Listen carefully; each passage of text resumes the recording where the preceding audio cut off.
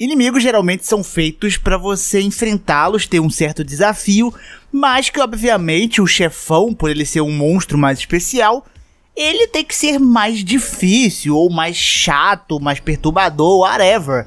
Mas acontece que alguns joguinhos, alguns inimigos, eles acabam sendo bem mais chatos ou até mais difíceis que o próprio chefe, deixando você ali frustrado, porque geralmente inimigos existem variantes ou existem inimigos iguais, mais que um, diferente de chefes na sua maioria.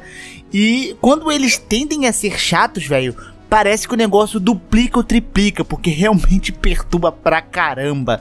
E hoje nós iremos falar disso aqui, de inimigos que são ou difíceis, mais difíceis que chefes, ou que simplesmente perturbam de uma forma absurda, que enche o seu saco. E você odeia esse inimigo pro resto da sua vida inteira, mano.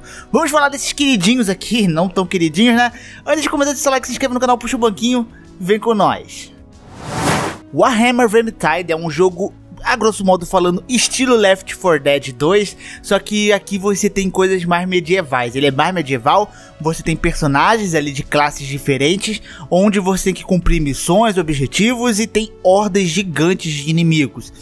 E quando eu falo de hordas gigantes de inimigos, são hordas gigantes mesmo, velho. Tem muito inimigo nesse jogo. E ele tem de ser um jogo bem hardcore, ainda mais dependendo das dificuldades que você joga. O que fica insuportável. E é obviamente, né, o que é o brilho da desgrama nesse jogo são os inimigos mais especiais, né? Que você tem os inimigos que vêm em horda e tem os inimigos que aparecem esporadicamente no jogo. Algum deles sendo tipo monstros gigantes, bem tanques, outros sendo menorzinhos, só que enchendo o saco da mesma forma. E um desses, cara, um desses que perturba o jogador é o Packmaster. Isso porque ele é um inimigo que às vezes aparece do nada, você não vê e ele puxa o jogador, ou seja, ele pega, usa um, uma ferramenta que pega o jogador pelo pescoço e ele te isola dos jogadores, ou seja, dependendo da situação, às vezes tá vindo horda de inimigo, ele vai lá e te isola e você precisa de alguém da sua equipe para ir lá te ajudar, te soltar dele. Senão você vai ficar preso ali, né, com o negócio no pescoço, e vai vir inimigos em cima de você e você não pode fazer nada. Tipo, você, é, é, é costume, né? Você vai apertando os botões para ver se você se solta, mas não dá para se soltar dele, a não ser que um, algum amigo te ajude.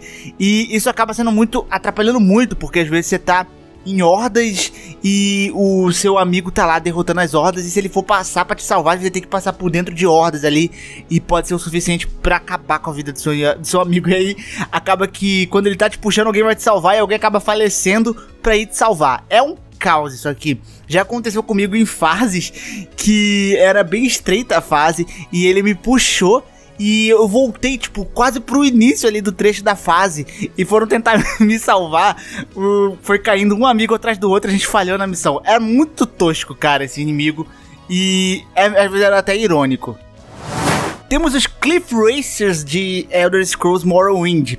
É, pensa num jogo que você não tem muita ferramenta para derrotar inimigos voadores, né? E aqui a gente tem tipo uns pterodáctilos desgramado que ficam te atacando. Então eles te vêm e eles já entram no modo full agressivo para ir para cima de você e ficam te dando dano de cima. E você vai tentando acertar esses bichinhos olhando para cima, cara. Às vezes junta 3, 4 e demora, porque você fica batendo, às vezes você não acerta, às vezes você acerta, mas o dano é pouco. Eles, mesmo você é um pouco ocupado, eles demoram um pouco a falecer. E eles são insuportáveis, cara. Porque ele acumula em cima de você, você fica andando. Não adianta você ficar tomando dano deles aí, eles vão ficar te perturbando. Você vai ficar batendo para cima, batendo para cima, errando, eles desviando, não acertando, te dando mais dano e demorando a falecer, cara. Esses bichos era tão insuportável no jogo que a Bethesda criou uma lore que depois de Morrowind, né, um personagem que tem lá em Morrowind, ele exterminou todos os Cliff Racers da, da terra ali de Morrowind, ou seja, a Bethesda decidiu exterminar, colocar em extinção os bichinhos mesmo, muito provavelmente porque eles eram muito chatos, e aí falou, pronto, exterminou, não aparece mais em nenhum jogo essa desgrama, porque todo mundo reclamava, era bem chato de derrotar esses bichinhos. Mas sei lá, né? Pode voltar em algum jogo, eles podem inventar alguma coisa e voltar. Regenerators de Resident Evil 4. Eu me lembro como se fosse ontem. Eu, um jovem gafanhoto, jogando Resident Evil 4 com aquela mira medonha do jogo na versão que eu joguei. E aparecer aquele ser, aquela criatura com os olhos vermelhinhos brilhantes e que por mais que eu sentava bala neles, eles não faleciam. É, Regenerator, como diz o próprio nome, né? Eles têm alta regeneração. Então você desperdiça uma quantidade infinita de balas, ainda mais dependendo da arma que você está usando no jogo, pra derrotar essas pragas, literalmente, né? As pragas. E esta, esse bicho, é, ele era muito assustador, o design dele dava muito medo ali na época que a gente jogou. E, cara, o bicho era extremamente resistente né? Óbvio que você existe mecânicas de derrotá-lo, dá para derrotar, mas demora muito, é muito gasto de recurso, ainda mais a primeira vez que você tá jogando, o que deixa extremamente mais difícil. E tem às vezes umas surpresas que você tomava quando esse bicho aparecia, que, cara, não passava nem Wi-Fi no negócio, era tenso, né? O Regenerator, ele acaba sendo um inimigo que muitas vezes o ideal é você fugir, o problema é você saber o caminho, né, na primeira vez que está jogando, e aí você fica perdido e com o Regenerator atrás de você, não é muito divertido, cá entre nós, né? E muitas vezes você acha que derrotou e do nada, pã, o bicho estava vivo, cara.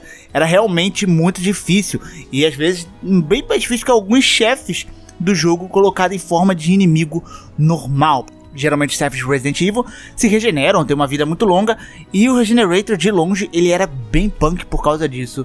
Era tenso demais, cara. É, dava medinho. Um inimigo que aqui não é tão chato, mas ele é bem mais difícil que muitos chefes de próprio Dark Souls, é a Hydra. Essa belíssima criatura, muitas vezes chamada de mini boss, mas que tecnicamente Dark Souls não existe mini boss, né? Ou é boss com aquela barra, ou é um inimigo extremamente difícil, como o Ravel, por exemplo, e aqui a gente tinha a Hydra, que poderia perfeitamente entrar na categoria de um chefe pela dificuldade. Só que ele é um inimigo e tem movimentos mais simples que um chefe talvez teria. E a dificuldade maior da Hydra, por ela ser difícil, é a área que você luta é, com ela, porque geralmente ela tá naqueles lagos, né? E quando você luta com elas, se você às vezes se gananciar um pouco um pouco para frente, pode ser o suficiente para você se afogar, afundar na água ali, porque tem tipo um buraco e do nada você cai e é meio difícil ver o limite desse local. Então do nada às vezes você cai e falece. E a Hydra ela tem uns ataques bem chatos, porque conforme você vai destruindo as cabeças dela, né, vai ficando mais difícil de acertar as restantes. E elas batem em lugares meio específicos do cenário. Você precisa correr até lá, às vezes não dá tempo. Então é realmente um, um mini-chefe mais difícil, ou inimigo mais difícil de Dark Souls por inteiro. Talvez dos três Souls, esse aqui seja um dos piores, junto com The Pusher do 2, talvez. É bem chatinho isso aqui. Agora pensa, talvez o inimigo mais chato da história dos jogos. E ele é só uma mãozinha. E eu estou falando precisamente dos Wall Masters de Legend of Zelda.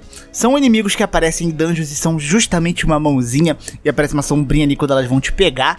E são presentes em vários títulos do Zelda. E o porquê que essa desgrama é tão insuportável?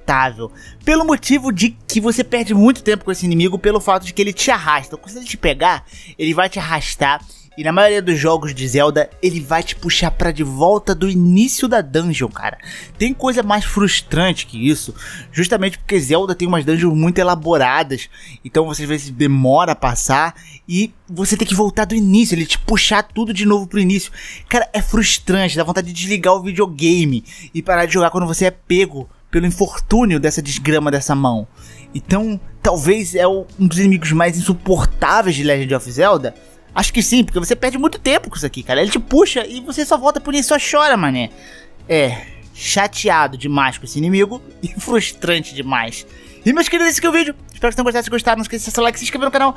Muito obrigado pela visualização. Eu fico por aqui. Grande beijo, grande abraço. Beijo no popô. É nóis. E fui!